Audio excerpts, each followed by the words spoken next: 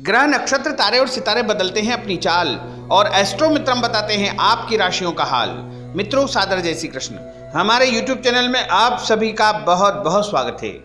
हम आपको दैनिक महाभाग्यशाली राशियाँ बताने जा रहे हैं। 17 सितंबर 2018 सोमवार का दिन है।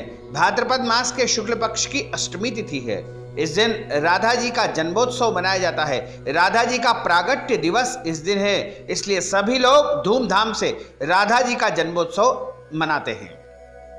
ज्येष्ठा नक्षत्र जो कि सुबह सात बज के बयालीस मिनट तक रहेगा, उसके बाद मूल नक्षत्र प्रारंभ हो जाएगा। दिशा शुल की यदि हम बात करें तो पूर्व दिशा में रहेंगे।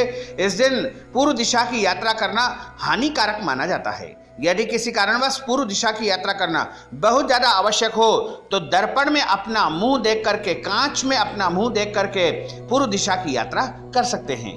ग्रह गोचर की यदि हम बात करें तो ग्रहों के राजा सूर्य देव सिंह राशि में होंगे, वहीं चंद्रमा वृश्चिक राशि में, मंगल मकर राशि में बुद्ध सिंह राशि में, गुरु तुला राशि में, शुक्र तुला राशि में, शनि धनु राशि में, राहु कर्क राशि में और केतु मकर राशि में रहेंगे। इस ग्रह गोचर के अनुसार कन्या, तुला, वृश्चिक, कुंभ और मीन, ये पाँच राशियाँ महाभाग्यशाली रहने वाली है। इन पाँच राशि वालों के सभी काम बन सकते हैं। इनके लिए कुछ नई सौगात का दिन रहेगा। कोई बड़ी खुशखबरी इनको मिलने वाली है। धन लाभ हो सकता है, इनके नए काम शुरू हो सकते हैं। कार्यक्षेत्र में नई सौगात इनको मिल सकती है। इनके काम अभी तक जो भी रुके हुए हैं, वह जल्द ही शुरू होने का भी संकेत इनको प्राप्त होने वाला है। तो मित्रों, हमने आपको बताया कि कौन कौन सी राशियाँ महाभाग्यशाली रहने वाली है।